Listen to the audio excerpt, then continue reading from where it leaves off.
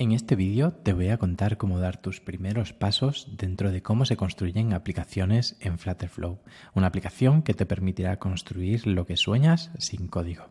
Vamos a ello.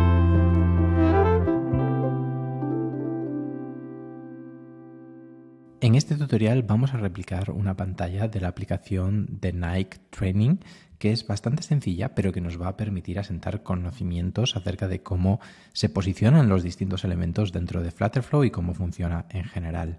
Lo primero es que tendrás que crearte una cuenta, es gratuito y una vez que lo tengas creado crearás un nuevo proyecto.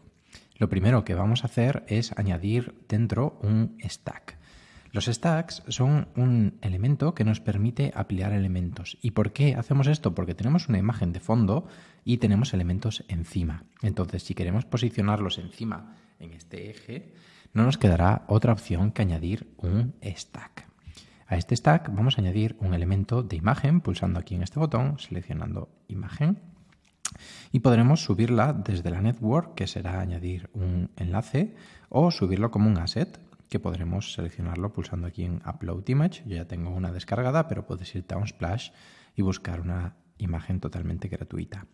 Tendremos que decirle el tamaño, que por defecto son 100 píxeles por 100 píxeles. En este caso queremos 100% y 100%. Si te fijas, hay un pequeño espacio en la parte de arriba que podremos quitarlo si seleccionamos quitar la Safe Area, que te la pone por defecto como área segura para diseñar tu aplicación. Perfecto. Una vez que tenemos hecho esto, vamos a poder crear estos elementos de aquí, de Night Training Club, pero para ello tendremos que utilizar una estructura bastante típica dentro de Flutterflow, que es añadir primero una columna. Las columnas son la organización, el eje vertical, lo que sería la posición por defecto dentro de la web. Y dentro de esta columna vamos a añadir una row que será como un flexbox. Esto nos va a permitir que ahora podamos eh, posicionar los distintos elementos eh, dentro de esto. Si añadimos distintos elementos, como por ejemplo ahora añadimos distintos containers aquí, vas viendo que se van poniendo pues en fila. Nosotros queremos que tengamos elementos en dirección vertical porque tenemos aquí un texto, otro texto y los botones. Entonces, para volver al eje vertical, añadiremos otra columna. Como te digo, esta estructura es bastante típica dentro de Flutterflow. ¿Qué vamos a hacer? Añadir ahora dentro de esta columna un texto, modificaremos aquí los títulos, seleccionaremos title 1 y le pondremos Night Training Club. Copiaremos el texto, tú puedes escribirlo directamente desde cero y lo pondremos en esta parte superior. Cambiaremos el color porque no queremos que sea este color, seleccionaremos blanco y añadiremos dentro de esto pues otro elemento de texto que va a ser todo lo que necesitas para tus objetivos de fitness empieza ahora. Así que lo que haremos será poner este texto, cambiar al objetivo de eh, subtitle 2 y cambiar el color, que es un pelín más clarito. Podemos ponerlo algo de este estilo. Perfecto. Si te fijas, ahora mismo se nos desborda todo un poquito, entonces podemos ajustar estas opciones desde la propia, desde la propia row con el alignment seleccionar si queremos que se expandan o no los distintos elementos. En este caso, la row queremos que se expanda y la columna queremos que no se expanda, así que seleccionaremos en Alignment que no se expanda. Perfecto.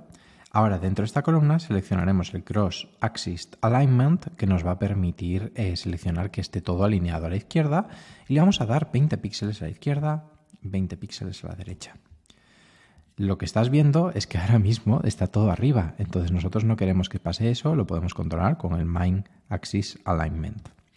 Dentro de esto, ahora queremos añadir un sitio para los botones, entonces tendremos que añadir aquí una nueva row porque vamos a tener los elementos en horizontal y vamos a añadir aquí un nuevo botón.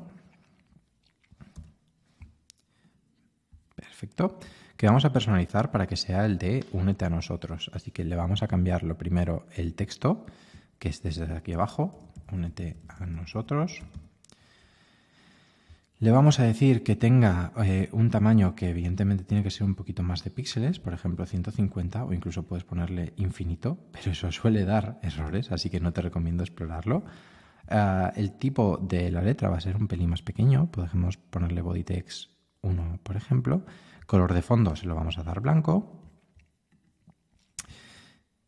perdón, el color del texto se lo vamos a dar negro y el color de fondo se lo vamos a dar blanco.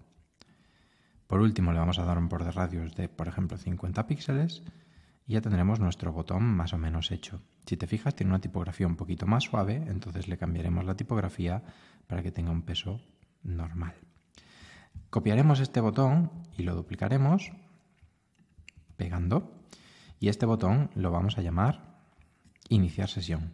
Así que cambiaremos el texto, iniciar sesión, le vamos a decir que no tenga color de fondo, que sea transparente y que tenga a su vez un color de borde de un píxel y le vamos a decir que la fuente en vez de ser negra que sea blanca.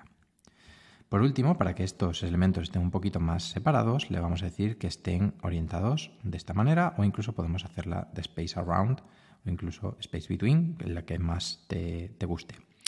Por último, solo nos queda separar elementos, para lo cual vamos a darle a la columna un margen en el bottom de 40 píxeles. A esta fila le vamos a dar un margen en el top de 20 píxeles y ya tenemos nuestra primera pantalla casi hecha. Lo último que nos queda es añadir dentro de Slack un pequeño color negro que nos permita que resalte un poquito más el texto. Como recuerdas, el stack te permite apilar elementos, así que vamos a añadir un container que posicionaremos debajo de la imagen que será eh, de color negro, que ocupará el 100% y el 100%, y que en vez de ser negro del todo será un pelín transparente. De esta manera ya tendremos creada nuestra primera parte de la aplicación. Podríamos incluso separar estos elementos alineándose a la izquierda y dándole a este elemento pues, un poquito de margen, como tú veas. Pero ya hemos diseñado nuestra primera aplicación y hemos aprendido lo que es un stack, una columna y una row. Así que eh, nos veremos en próximos vídeos en los que seguiremos profundizando acerca de Flutterflow. Aquí en No Code Hackers hacemos tutoriales, contenidos, cursos sobre herramientas no code en español. Así que si te ha gustado, dale like, suscríbete y nos vemos en próximos vídeos.